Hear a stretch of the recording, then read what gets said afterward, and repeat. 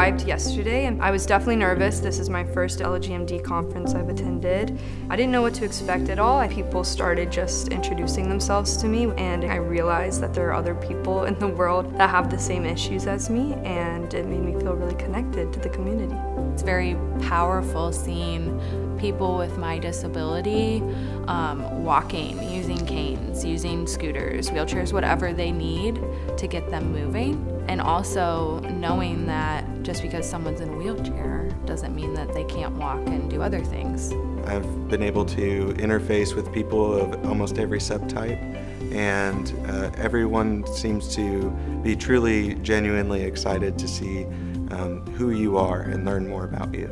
I think the thing that keeps me like to come back to the conference is definitely the community. Like this is like the one time that we actually all get to be together and see each other. For me as a limb-girdle mom and caregiver, no one quite gets it like other LGMD moms do. There's just nothing quite like being with your people. We do a lot of research kind of hoping, you know, to build new drugs and things like that, but actually there are much smaller things that patients are struggling with. So kind of identifying those and hearing those from the patient perspective has been invaluable to me.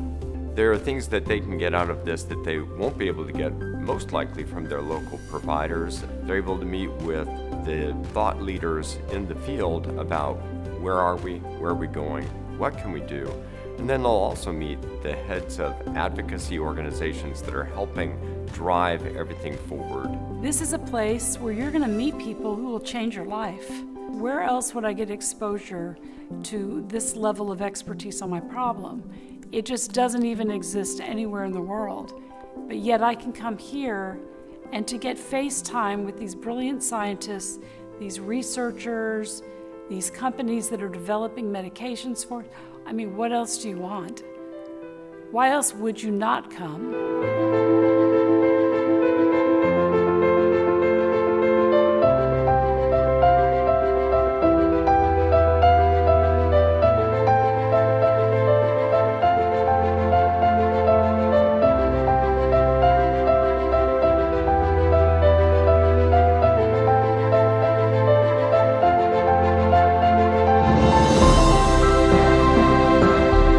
So hard when you live with a rare disease.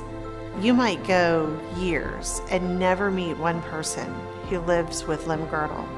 You come to this conference and you see 350 people who live with limb girdle muscular dystrophy. It's life changing because you finally see people who are just like you. Things like this keep me motivated. Seeing the number of people coming together, the hope that they have, they're relying on not just us, but the whole community to progress forward within their disease and within their lives. And that's the thing that keeps, I would say, probably all of us going. Absolutely. It's really motivating. Because I know a lot of newcomers will join a group on Facebook or, you know, see the conference and then retract because they get scared and they're like, oh, this is what my future looks like. But do not let it scare you that these things are put on for, you, for us to help you.